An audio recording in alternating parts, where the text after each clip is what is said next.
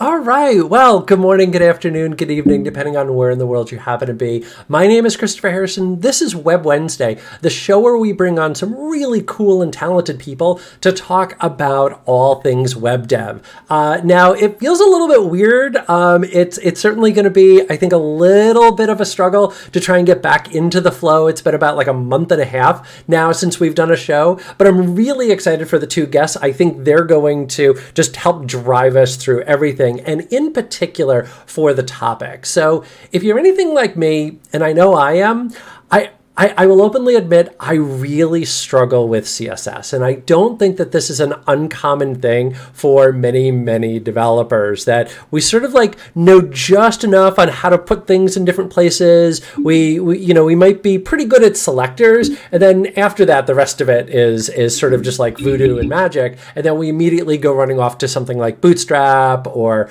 um, Tailwind or something like that, which is of course not in any way, shape, or form to downgrade those uh, those frameworks. They're wonderful, but uh, it'd be also kind of really good for all of us as web developers to have a better understanding of CSS. And so as a result, I'm really jazzed to be joined today by both Ro and Annie, who have spent an awful lot of time getting up to speed on CSS and building some really cool, really pretty, really unique things with CSS. So first up, thanks to, to the both of you for joining.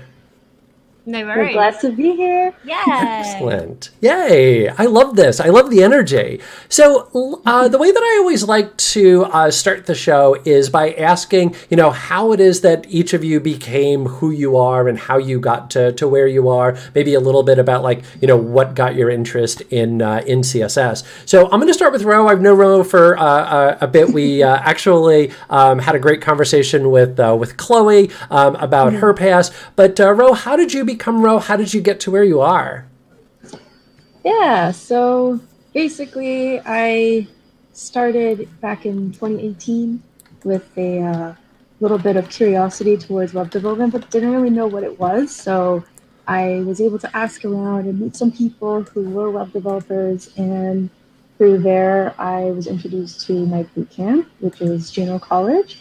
And after completing the school uh, in the year 2020, I started to job hunt and met a lot of amazing people on Twitter and through the community there. And then I landed my amazing job at eBay Design, and uh, that was in uh, April of 2021. And I have been there ever since, learning and growing and absolutely loving it. So that's, yeah, that's fantastic. Perfect. And Annie, how did you become Annie? Yeah, that's a really open-ended question, but um, well, I actually graduated with a degree in multimedia design, so I was a designer. I had zero interest in code. I'm just going to put that out there. I did learn HTML and CSS at uni, and I had to throughout my designer career um, code like basic websites and stuff. But I absolutely like disliked it. It was just something that I had to do um, because it was, you know, the bread and butter of what I had to do. Um, so I worked as a designer for several years in Australia and England and London. And then I went to Japan and taught English for several years, came to Toronto, where I am now.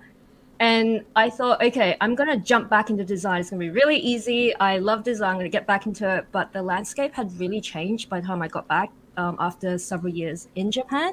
So I really struggled to get work, and I was just working like three jobs, and it was just was just really really horrible, basically. So I started looking into alternatives, and one of the things that came up was boot camps. And I thought, okay, with my background, maybe I'll do a UX boot camp. But I found Juno College, which is incidentally the same boot camp that Ro went to, but I actually went in a little bit earlier. I graduated from the immersive bootcamp course in summer 2019 um, had my first job at a WordPress agency, and now I'm in my second role as a the front end engineering lead at Pastel, which is a really cool startup. There's only five of us, but I'm loving it.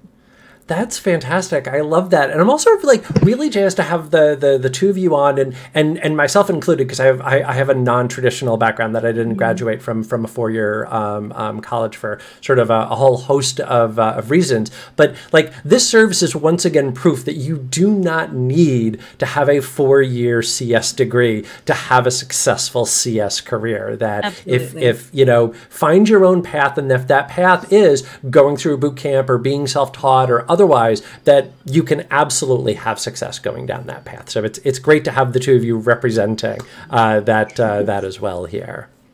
Always happy to. Perfect. So, um, the first question that I always love to kind of start with when uh, we're talking about whatever technology is basically like, what is insert technology? So, let's start with this. What is CSS? Mm. CSS stands for cascading style sheets. okay. And what do I what what would I use CSS for? Yeah, so the way I always kind of like to explain things is using the kind of framework of a house. So I feel like in web development there's three building blocks. There's HTML, CSS, and JavaScript. And if you think of HTML as the structure of your house, it's the beams, it's the wood panels, it's like the bricks that you're building um, that's the base layer, and that's what HTML is. When you add CSS, that's like adding the decorations. It's adding you the, the paint on the wall. It's the colors. You're starting to bring it to life a little bit, and you're adding like um, all the fun decorative things that also takes into account um, how you function in the house, how you move around the house and everything. In, in code sense, that's how you interact with the website. And once you add JavaScript on top of that, that's adding the interaction like the lights and the plumbing and that's kind of the analogy um, when i think about those three things. So css kind of sits in the middle of the html and the javascript. Okay all right. So that and, and that's a great analogy and i love that. You really sort of like no pun intended here kind of painted a picture um, which I, I, I, really dig. Um, my follow-up to that would be you know what would you tell to a web developer that maybe like has been like avoiding CSS, has been like, you know, I'm not 100% certain, or, you know, I don't always feel like it's doing what I expected to do, like those types of things. What would you tell a, a developer to, to help them like go, hey, you, you need to kind of just kind of keep working at it and eventually it will make sense? Ro, do you want to take this one? Yeah, because uh, I actually mentor for Intro to Web Dev at my school now, and a lot of the times I see my students pulling their hair out, being like, I just don't get this. Why? And number one, just patience, because there's a lot of different moving parts that come with CSS. And it may seem like maybe the easy part, but it's not because there's a whole bunch that goes into it. Um, so I think when you first start looking at, start very basic, start very small. So I have friends sometimes who are interested in learning code. And I'm like, let's start at the bare bones. So I'll be okay, literally write H1 hello world. Now make that turn green. And it's just as simple as targeting your H1 and setting the color to green and start going from there, which sounds very, very basic, but that's how you learn. And that's how you grow and build upon it. Mm-hmm. So just start simple and then just sort of kind of keep expanding on from uh, from there. Yeah, because when I started in boot camp, I always wanted to do the biggest, coolest thing.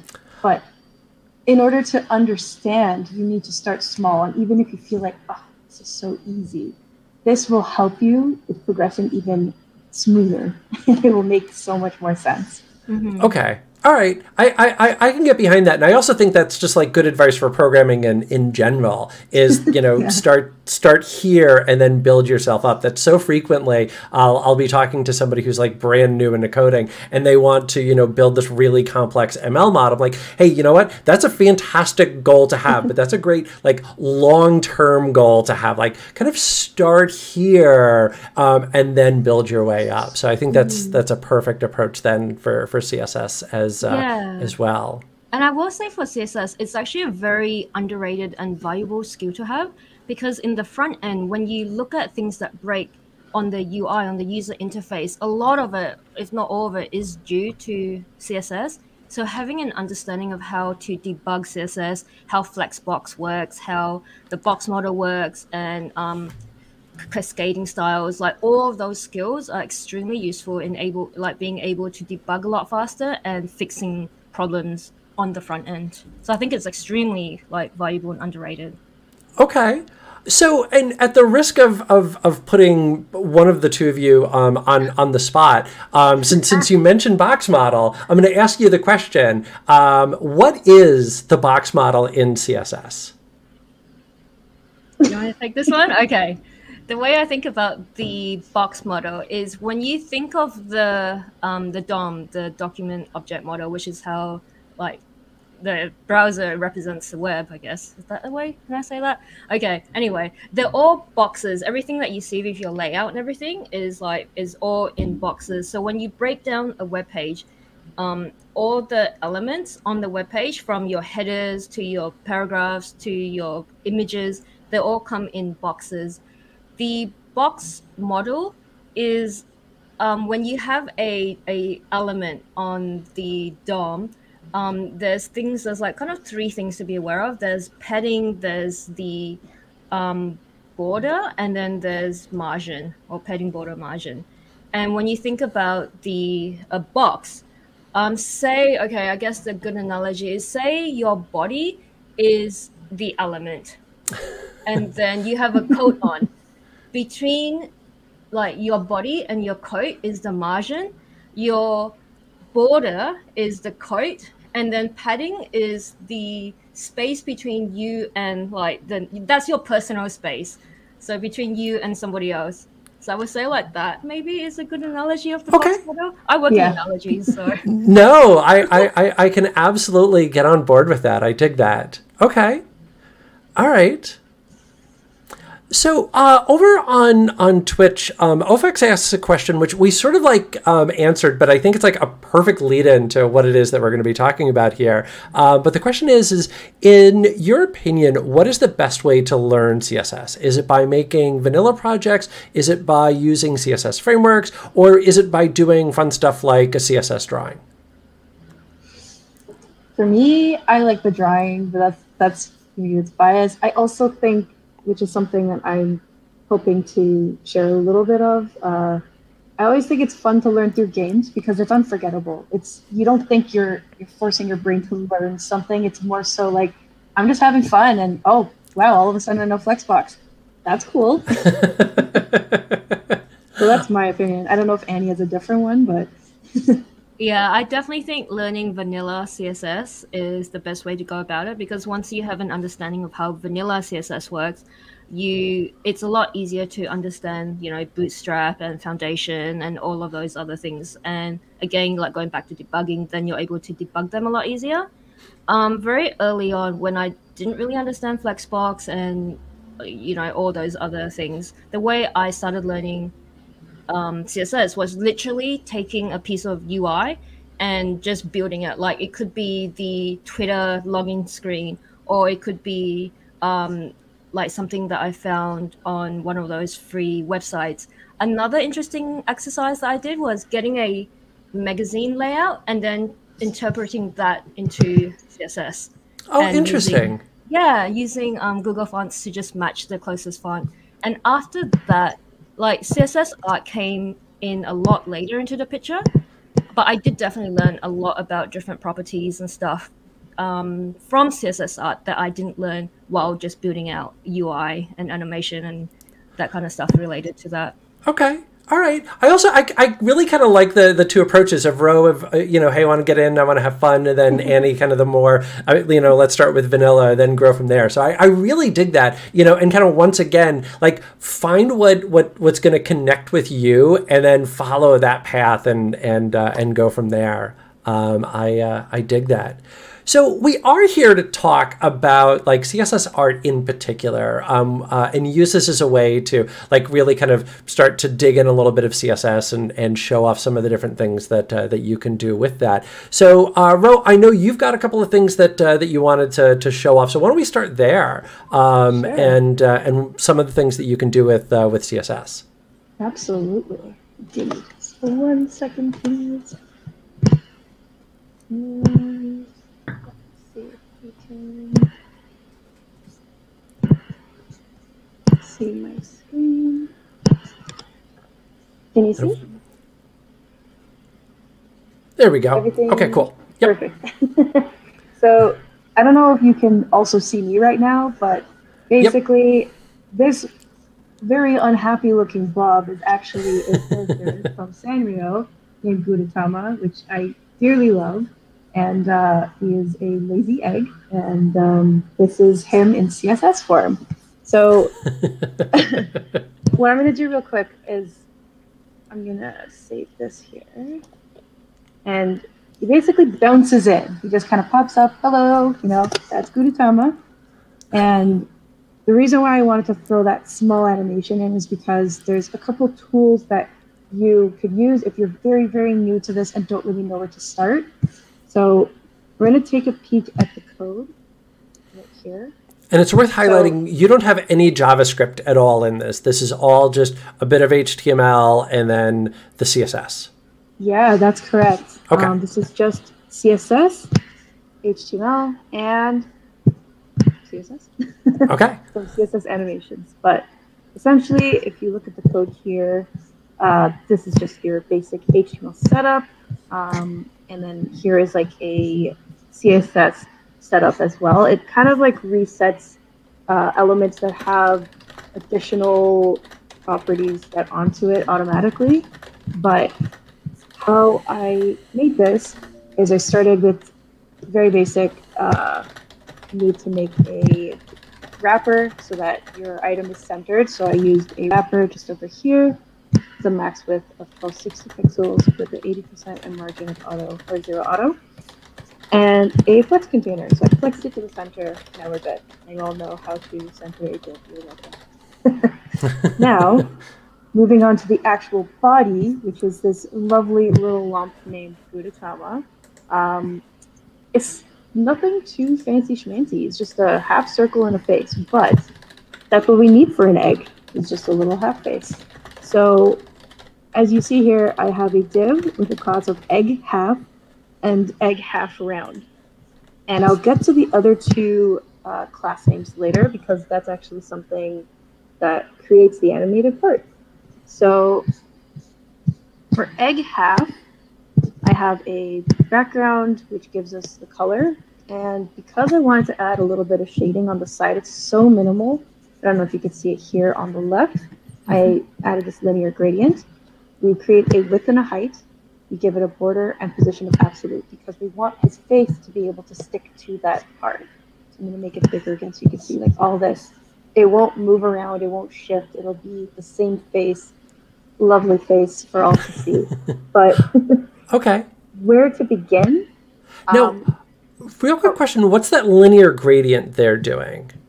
Yeah, so basically it's providing that small little shade over here. Like it kind of like blends in these different colors. So there's this yellow and then there's this little orange because Gudetama in the image I was referencing, he had a little bit of an orange highlight on the side. Um, but because I want this to be catered to someone who is like, well, I don't know how to do things with linear gradient. How do I even get started? They are tools. So I'm going to quickly bounce over to here. And I'm going to show you this. This is called CSS Gradient, and it is a tool that literally does that for you. And I really like that because if I didn't know and I needed help, this is where I would start. And you can drag this. So you can adjust the amount of gradient that's being bled through depending on how much you want. Now, I only Okay. wanted a little, so I left it at here. Um, yeah, And that's just at cssgradient.io. And so you're just kind of going in, configuring that with a GUI, and then now Mm-hmm. you're able to just copy and paste the code, I'm guessing? Absolutely, that's it. So I believe where is it? Just at the bottom here, it'll display for you, and you can just copy and paste. That's it. Um, don't need both. I just stuck with this one, and that is what created his color. Um, also wanted to mention if you're referencing something like this Gudetama egg, you can use a tool that's easily uh, downloadable to your browser, like a browser extension. I have one it's called Page Color Picker, And if I click on uh, color picker, I can use this, or I can actually click anywhere on the browser and add that hex code to my code. So it makes it a lot easier to get the color that you're looking for exactly. I really dig that. Uh, that was cssgradient.io, and what I also I, I, I what, what what I like there is sort of like highlighting the fact of like, hey, you're not going in and just manually setting you know RGB hex values. That you're using a tool to go generate that for you. That you just don't have those memorized off the top of your head. Exactly.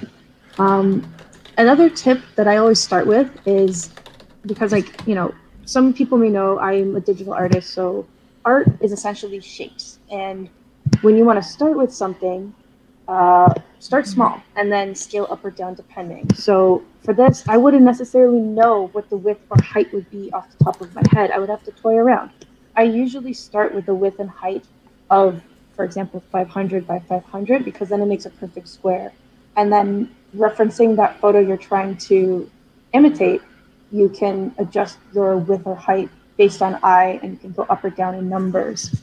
Um, so that's how you end up with a width or height that matches. Because I think that matches the shape of this little guy. Sure, close enough. Yeah, we'll go with yeah. that. and then moving forward, uh, I want to discuss the animate part because again, there are people who maybe don't know how to do CSS animations. That's totally cool. I don't know how to do CSS animations. So this shout out to my school for introducing me to this. Um, I discovered this recently.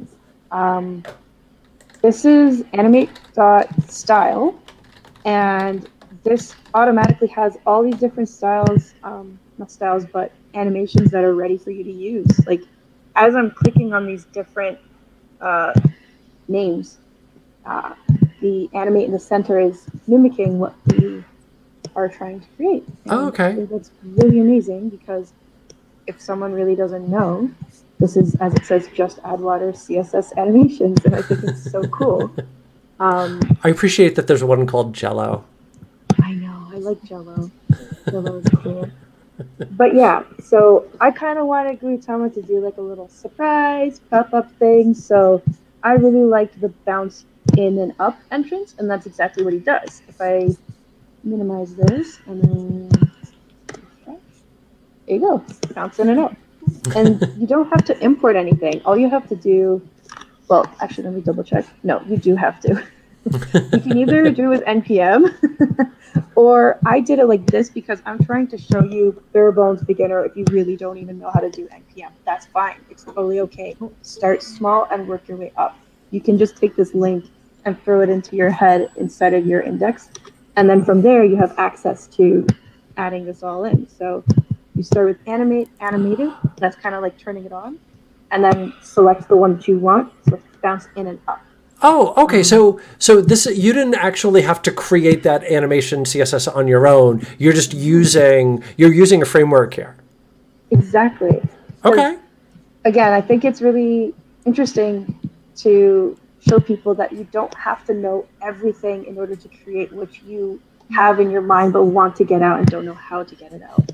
Because there's so much to learn and uh, this is like a good way to inch towards it and then eventually learn more on it I, I, I really dig that. And what I also I, I love the fact that you highlight like, hey, you know what? This is this is the stuff that I know how to do, and this is the stuff I want to focus in on. So this I'm gonna build. I'm gonna use a couple of tools here to help me out. But then there's this other stuff like the animation where sure I could do it, but it's gonna be easier if I just you know use something that somebody else has already got. So I'm just gonna use that framework, import that in, and away you go. So I I, yeah. I really dig that.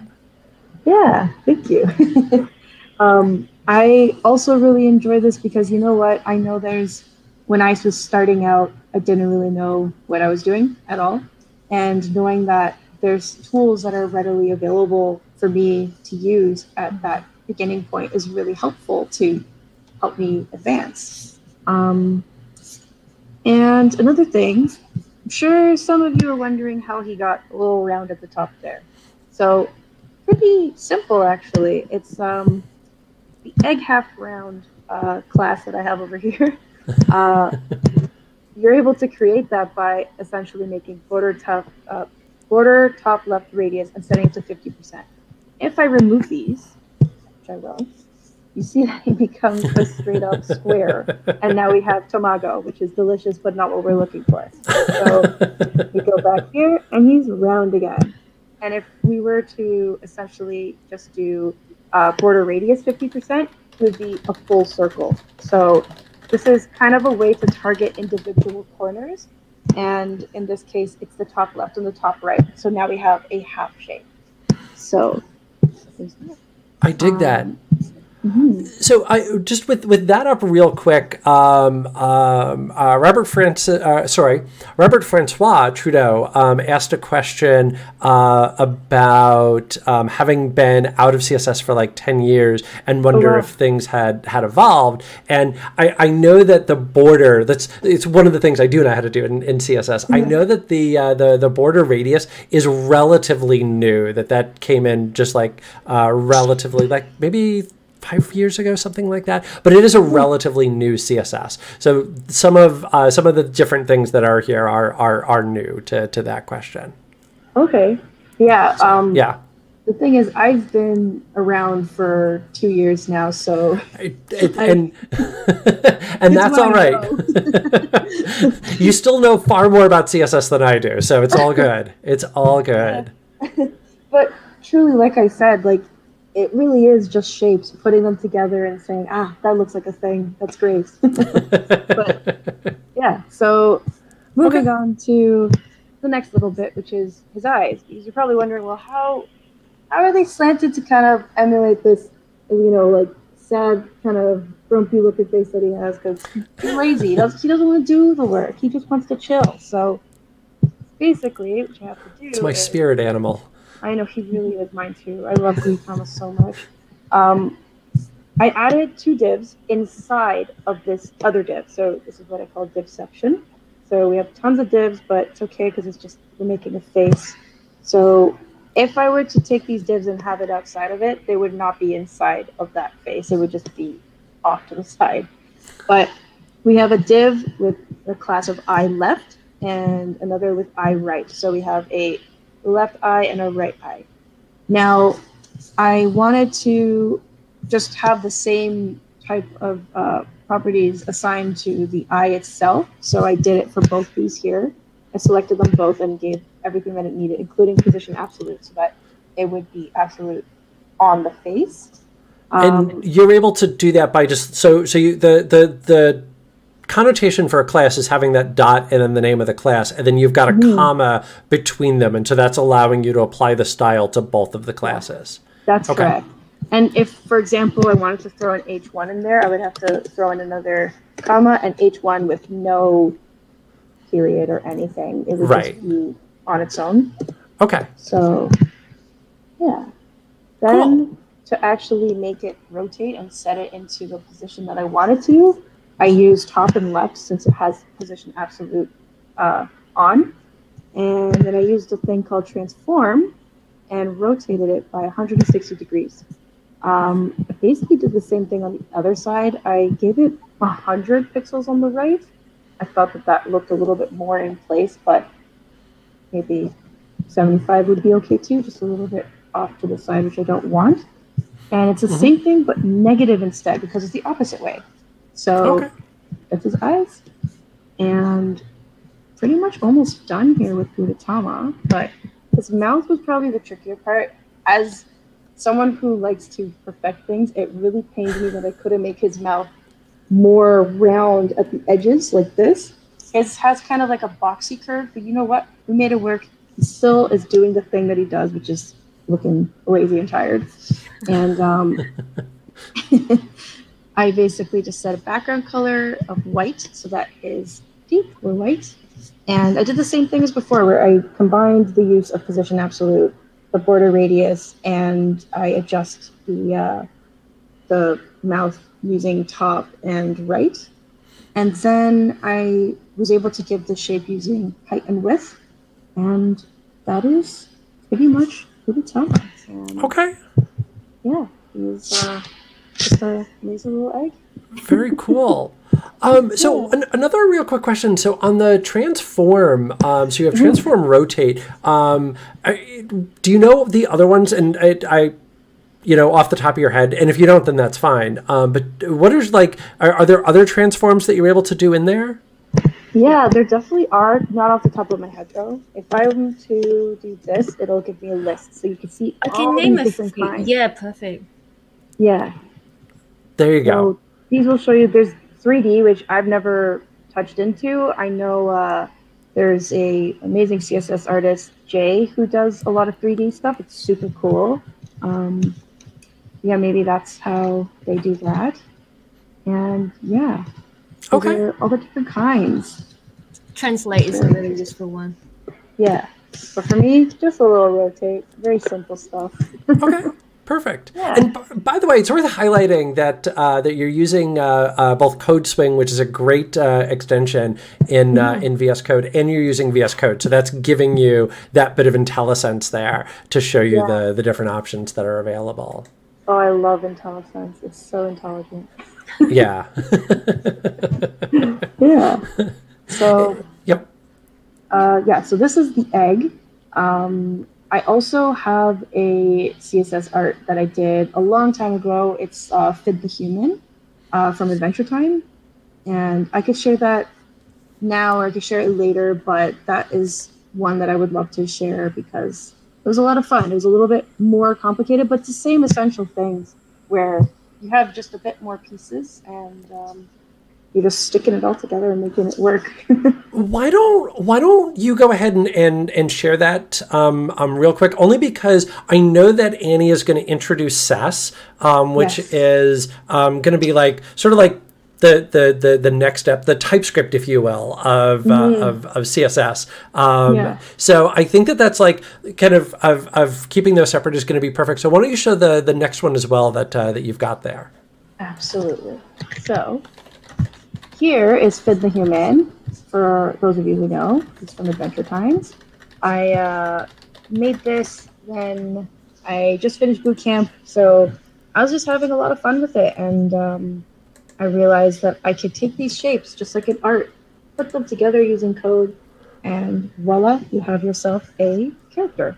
Um, the background is not made with CSS; it is a GIF, and is just like the I think it's the outro credits where the little bee flies around and butterflies. But yeah, basically the same thing, except as you can see, there's a lot more divs, a lot more happening. oh yeah. So that's why I wanted to show you something small like Gudetama because it really is a lot. Um, I I'm not gonna go through each one, obviously, because that's gonna take a while. but- We'd be here for a bit. yeah.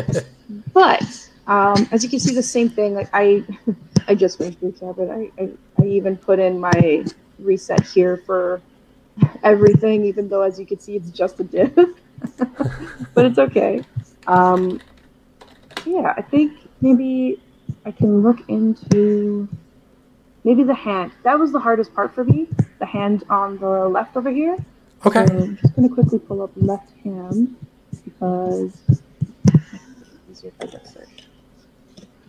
Okay.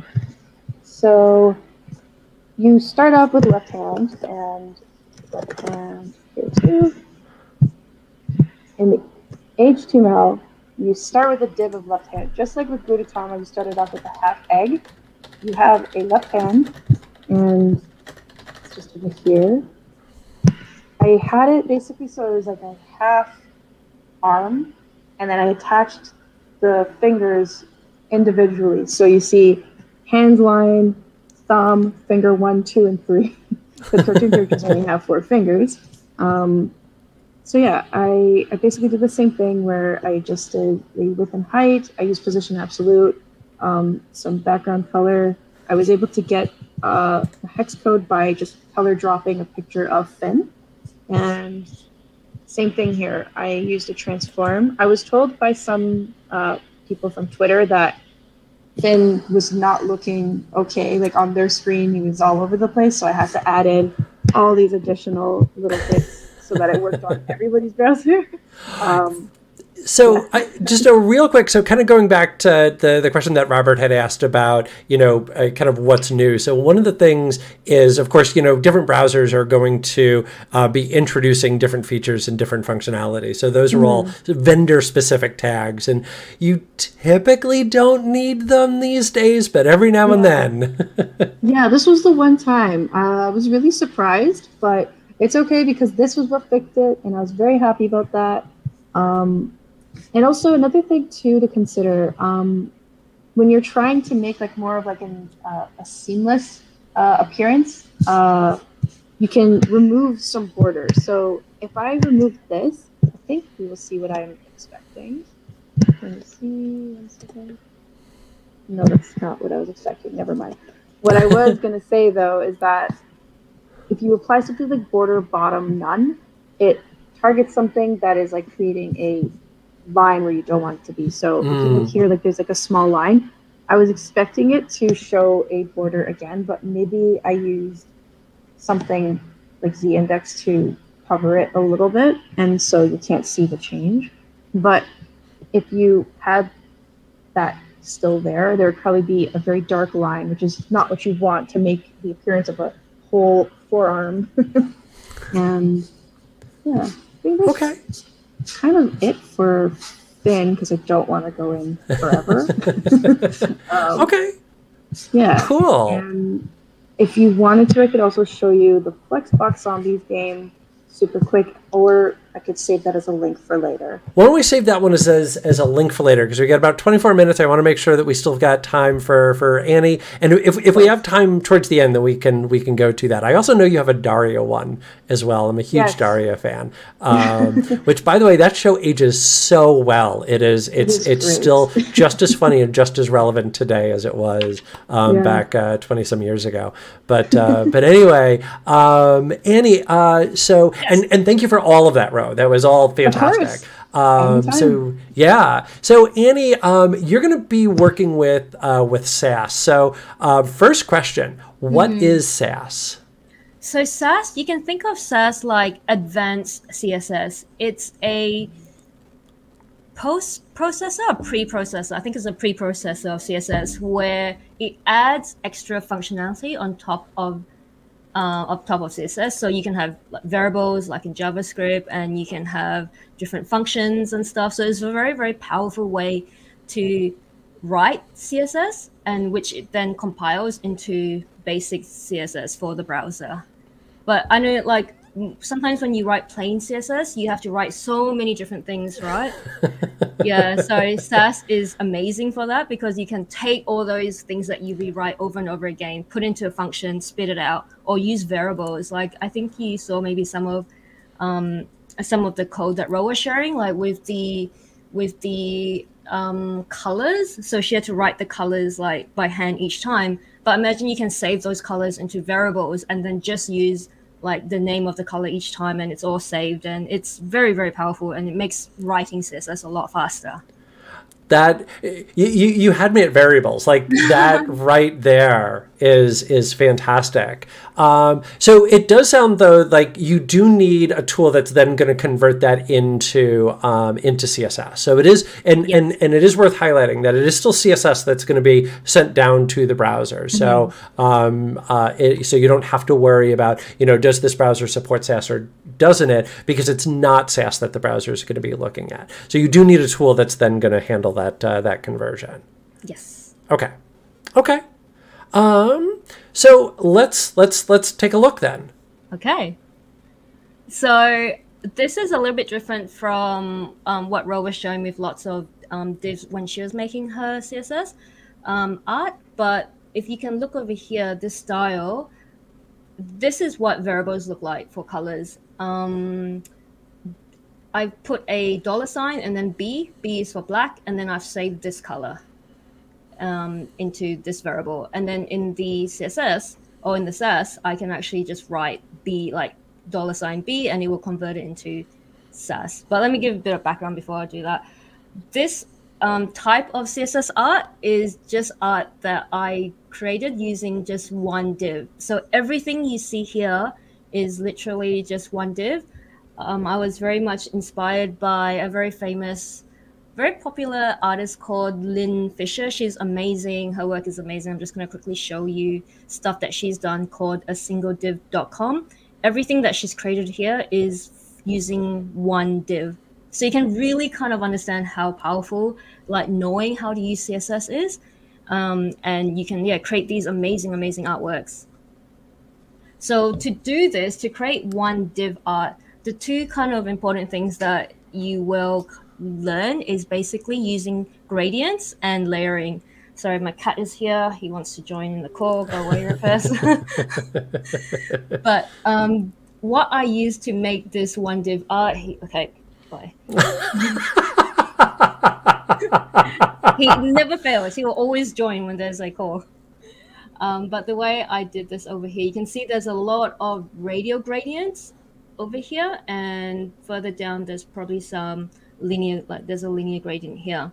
And what you do with one div art is that even though on the DOM you have just one div, you're using pseudo elements, which is the before and after, and that essentially gives you two extra elements to work with. So how I created what this what is a pseudo element? You know, that's a really good question. I never really thought about that. A pseudo element is Ro, do you have an answer for that one?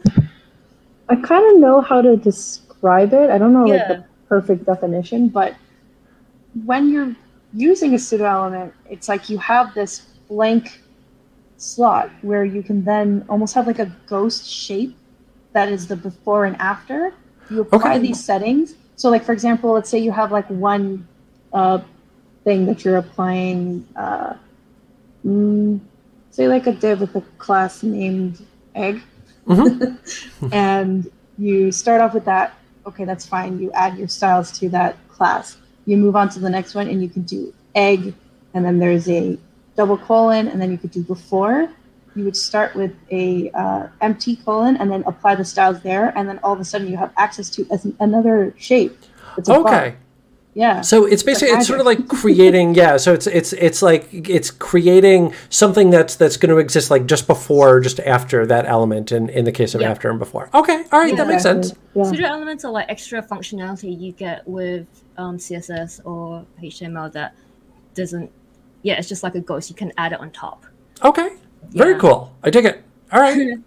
So the way I created this is the back and the basic shape is just the one div, but here's the before pseudo element, and I put a lot of comments when I code because it just makes it so much easier if I go back a year later and I don't know what's going on because like if you look at this, it's just like a bunch of radial gradients and linear gradients. Like what is going on there? But if I just comment this out the front, you can see that if I take that away, it automatically it's taken away the border um, of this iPad over here. And I've used the after pseudo element to create my screen. So if I take that away, comment that out, you can see that's just what that looks like. Now, I'm going to put back the front so you can see what it looks like without the screen. I'm gonna comment that back in. And this is actually what the front looks like. So the way you create um, CSS art using one div, or in, in fact any CSS art as well, is using gradients and linear gradients, and you're layering on stuff on top. So once I took away the screen, you can see that it looks literally like this. Like it doesn't look like much, but once I layer back the screen, then that's covering all this stuff over here, and it looks like a very hyper realistic, um, hyper realistic iPad Pro. So yeah, so that's the basis of how it works. It's literally chaining and layering the radial gradients, the gradients, um, which are the two main functions, like CSS functions, onto the background property. And you can, you know, use this trick in if you're just working with normal um, in your day-to-day dev job, you can use this trick to add details to a button or render things without adding more elements to the DOM, and that's very, very useful to to do just going to go in a little bit more um, just to give you a bit more detail. Now, if you have a look at this right now, this is like this is a screenshot of a work in progress that I did. Um, if you look here, you can see there's like buttons here. There's a little thing for the sound and stuff. But in this version over here, there's none of that. So the way I did this, this is a work in progress, and this is a way that I love working with. When I'm layering gradients on top of each other, sometimes I'll just use like a crazy color, like this green over here, just so I can orientate myself to where I am in um, on the picture. Um, to make these buttons over here, you can see what I did was I actually used radial gradients, and then they're literally just um, I'm using them to create the outline of the buttons. And the reason I used radial gradients as opposed to linear gradients was because I wanted that slight curve um, on the buttons that you can't really get with the linear gradients. And so with the layering of the radial gradients, um, I'm then just kind of layering them on top of each other, which is like in this picture over here, you have a, um, a gradient or like a linear gradient, and then you put another one on top, and once you make that the same color, it gives the illusion of cutting out that shape, basically. So you just get that line. And that's something that is very useful when you're creating CSS art. So over here as well, you can see there's a long line, a, horror, a vertical line straight down here. And the way, and that makes up just the, um, just the line over here for the button. And how I um, covered that was I put two linear gradients one over here, and then another one cutting up the other way just on top, and that covers the line. It's still there, but it's covered as I'm layering gradients on top of each other. Um, that is like literally the best way I can say to make CSS art is literally layering things. When I did the this iPad, it was like the first time I'd ever used linear gradients, radial gradients. It was the first time I've ever done a CSS art. Uh, and I just kind of really wanted to challenge myself to do something that I'd literally never seen before. Um, and then I made it responsive as well. So as you can see, if I move this and make this screen smaller, it resizes. And the way to do that is using a, a using vmin. You can see that just over here. And what that is, is that this unit is based on the viewport's smaller size. So everything I'm using is with percentages and vmin, and that helps to make it very responsive. And I think responsiveness is a very important thing, um, like topic. It's it helps make the web a bit more accessible. People who don't have access to, you know, to laptops and stuff are still able to view this work and your work um, on, you know, mobiles and everything. So that's the basis of it. And here's a transform as well, translate 3D. Which, so, um, so there's a couple of things I need to call out. Number one, just simply the fact that you said, "Yeah, so I wanted to challenge myself, and I had never tried this before, so I'm going to go ahead and just build this." Yeah, like I, I, I can get something to turn the right color for me. You go in and you do this. That's that's outstanding. Um, first of all, um, the second thing that I want to call out, um, and I really want to highlight this, is um, is accessibility. That uh, I love the fact that you know you're you're you know making sure that that really is like a, a part of what it is that, that, that you're building here um, mm-hmm. because a web that's that's not accessible to everybody is not accessible to anybody so you know mm-hmm. making sure that that's a, a, big part of what you're building i think is is fantastic the uh, the last little thing then that i i want to just ask is um, how you're applying the the different layers. Is it just simply start from the top and work your way down where the the top is is ironically the the bottom layer, and that each one then becomes a new layer? How are the layers being applied there? That's a really great question. So I'm going to dig a little bit deeper into it. Here's the screen, which is oh actually, um, yeah okay. Let's go over the screen. So here's the um, after pseudo element, and we have this background here. So as I, as I mentioned before, all of these are basically just layers. What is on the bottom is the top. So okay. luckily I've put comments so I know exactly where everything is. If I comment this part out over here, and I need to add this little thing over here, you can see that that was just all those gradients over there that I've added for the screen. Now this white part, I don't know what's called. I called it the white part and comment that out. And again, it just takes that away. So it's literally just building layers and layers on top of layers. Here's the home button, comment that out, that takes it away. I can put this white part back on over here and the um, home button isn't there. But if I put the home button here back on, sorry, back to front, um, the screen is the bottom and Um, the one at the top Yeah. is on top. Sorry, my bad. Yep. Yeah. So if I move all this part, comment that out, and put the screen back on, um, you see that this is what the screen looks like. Okay.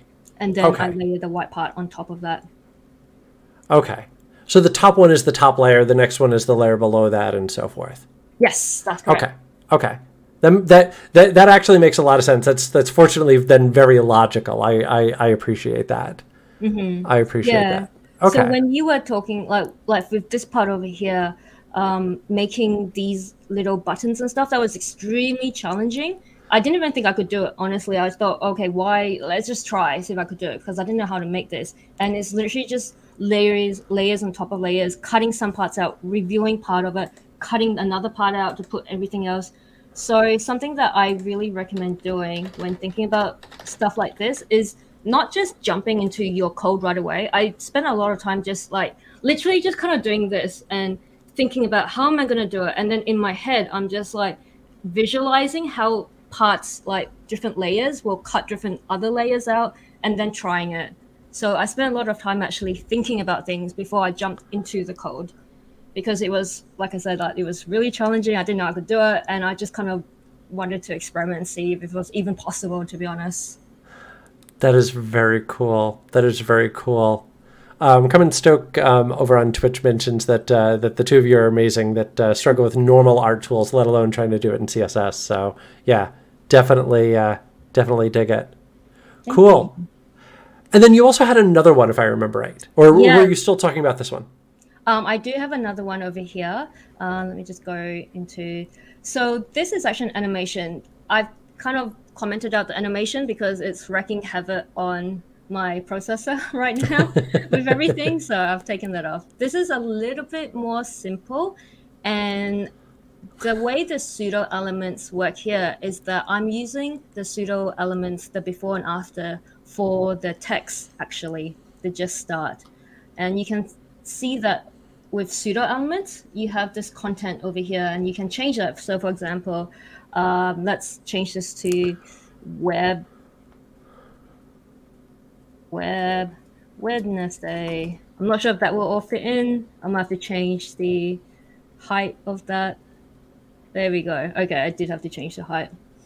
But basically, um, when you add the content, that actually gives you. I really have to change a lot of things. I think that gives you the um, that gives you access to the these um, pseudo elements. Over here with the CSS art, when you're looking at the before and after, if my computer goes up, okay, the content there's nothing here because I'm not actually putting anything in the content. I'm actually just using it for the background, and then I'm, you know, using um, I'm adding like the size and stuff of the content, but there's there's actually nothing in the content. Whereas with this one, we have text in the content. So that's one way to do it. Um, to use like the before after elements, pseudo elements, and it's very very useful in normal day to day your day to day work as well. So when you're looking into the, I've got all these stars over here, and I'm just gonna go into a little bit of detail about how to do those. Uh, okay, stars, water. When you look at the gradient, and I'm using radial gradients over here, you can see that I'm using circle at, and then there's two percentages here. Now, these two parameters, basically, or arguments, um, represent the x-axis first, and then the y-axis second. And so that's the placement of the circle. Then the next thing I did was GD for me just means go dark, which is just the color that I called my color variable here. And the size of this circle is 0.08%, which is, yeah, the size of this one over here. And then ST is the variable for transparent. So what I've done is, um, so if I didn't use transparent, for example, like say I put a color, um, let's go black, just so you can see what it looks like. You can see everything becomes black because what was black, what was transparent before is now black. Right. Okay, that makes sense. Yeah, so it was a circle with the color, and then after everything else after that was transparent. and that's how you make like circles, and then you can layer the circles on top of each other to create CSS art, one div CSS art. That is that that is truly remarkable. Thanks. I love all of that. Um, and I also just, I, I, I do love the, you know, hey, I want to challenge myself. And, and I think that that is a great way to, uh, to, to learn is to find something mm-hmm. that is, is going to interest you, find something that's going to keep your attention and then just try to build that. So I really like the, hey, I want to see if I can't do this and then go out and, uh, and actually do it. So yeah, that's, uh, that's fantastic. Cool. It's also really fun to work with filters, by the way you can like blur things. This is a bit more blurry, so I added filter here and um, make reduce the opacity. Um, mm. I didn't put the animation, but I will say if you're doing CSS animation, it's quite heavy on the processing. So it's a lot more experimental than useful in real world situations, but it's still really fun to play around with. I dig it. Cool. So um, we've got just like a couple minutes left. What would you recommend somebody as as like next steps of like, hey, I want to go learn CSS. What would you What would you tell somebody to to get in and start playing around with? So there's some really really great tutorials online. Actually, um, that's how I started. I basically built one very simple CSS, and then once I got the basics, I was able to then go in and just build things from my imagination. I definitely recommend looking at documentation. I know everybody hates that, but it's actually really useful to knowing what certain like you know arguments and like parameters do in the functions and stuff, and then you can really practice and um, change those and um, yeah, like make it your own and learn how to do it properly. It's it's fun, but there's a lot of nice tutorials and stuff out there.